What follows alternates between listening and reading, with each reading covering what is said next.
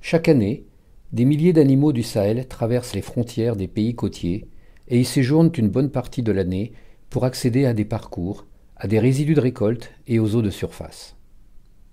Ces passages réguliers de pasteurs et d'animaux constituent une source d'approvisionnement des marchés de viande déficitaires des pays côtiers, mais entraînent de nombreuses tensions sur les territoires traversés, notamment entre le Burkina et le Togo. Ces tensions ont des conséquences lourdes sur la vie économique et sociale et ont tendance à remettre en cause l'intégration régionale.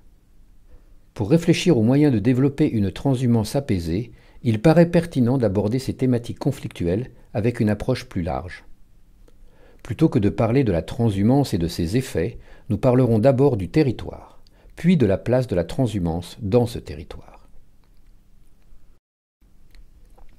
Ce film présente une façon de penser la question de la transhumance transfrontalière en mobilisant une réflexion sur l'avenir, la prospective territoriale. La prospective territoriale est une méthode d'anticipation qui consiste à explorer les futurs d'un territoire pour faire face au changement. Elle part du principe que le futur n'est pas écrit et qu'il pourrait prendre des formes très différentes. L'objectif de la prospective territoriale est de permettre aux acteurs locaux d'imaginer différents futurs pour l'avenir de leur territoire et de comprendre comment et pourquoi ces futurs pourraient se produire. Pour commencer, un panel de participants locaux est choisi. Il est constitué de personnes ayant des connaissances approfondies et diverses afin de couvrir toutes les dimensions liées à la question posée concernant l'avenir du territoire. La prospective s'appuie d'abord sur un diagnostic du territoire réalisé à travers des revues documentaires, enquêtes et interviews sur le terrain. Les participants déterminent alors la problématique de la prospective et choisissent l'horizon temporel ciblé et les grands thèmes à aborder. Puis ils discutent, enrichissent et valident le diagnostic. Pour le cas du territoire transfrontalier Tourgo-Burkina, les experts ont choisi de travailler à l'horizon 2035 et de répondre aux deux grandes questions suivantes. Quel futur pour le territoire frontalier entre le Togo et le Burkina en 2035 Quel rôle et fonction du pastoralisme dans ces futurs? Pour cela, il faut tout d'abord identifier les facteurs de changement du territoire. Ces facteurs correspondent à des forces ayant potentiellement une influence sur l'évolution du territoire, et sur lesquelles les acteurs du territoire peuvent agir directement. Il s'agit par exemple de la gouvernance locale, de l'éducation, de la conscience écologique, de la croissance démographique, des traditions, des modèles d'élevage et plein d'autres encore. Les participants comparent ensuite tous les facteurs de changement un à un pour déterminer lesquels sont les plus influents. Ils identifient ainsi les forces motrices. Elles sont à l'origine des principales transformations du territoire.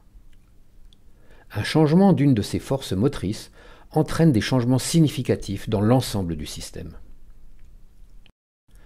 Pour chacune de ces forces motrices identifiées, les participants imaginent différents états possibles de cette force dans le futur. On appelle ces différents états les états du futur. Par exemple, la force motrice état des espaces naturels aura comme état du futur plausible des espaces naturels luxuriants, des espaces naturels désertiques, des espaces naturels dégradés, ou encore des espaces devenus artificiels. Les participants obtiennent alors un tableau morphologique qui recense tous les états du futur de toutes les forces motrices. L'étape suivante consiste en la co-construction des trames des scénarios. Une trame est une combinaison cohérente des états du futur compatibles.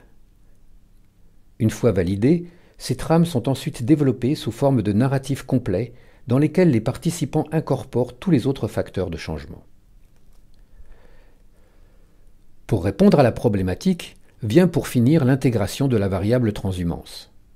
Ainsi, dans ces histoires du futur, les participants ajoutent les formes de transhumance susceptibles d'exister et les rôles et fonctions qu'elles pourraient avoir dans le fonctionnement du territoire en 2035.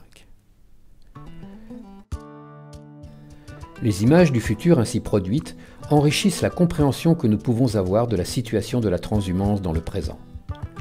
Elles peuvent alors être utilisées pour alimenter des débats sur l'avenir du territoire et éclairer les décisions à prendre dans le présent en intégrant l'incertitude.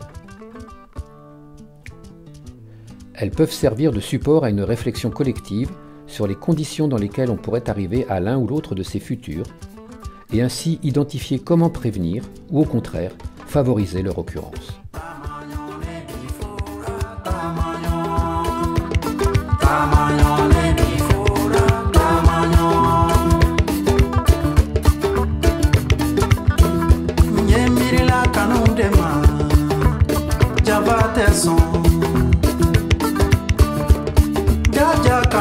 tẹ̀sán jàǹbá màní kàní ọmọ jàǹbá tẹ̀sán.